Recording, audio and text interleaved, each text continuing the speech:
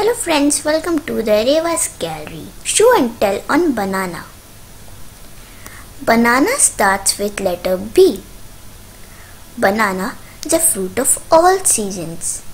It grows on banana plant. It has no seeds at all. It comes in yellow, red and green color. It is long, curved, pulpy fruit with yellow skin. Green color banana is used as a vegetable. It is rich in vitamins and fibers.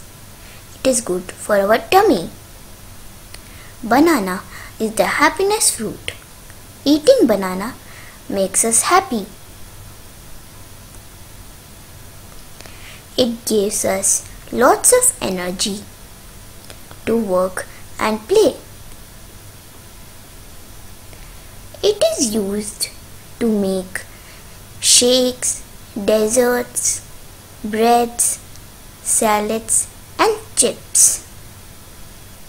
I love eating banana. Thank you.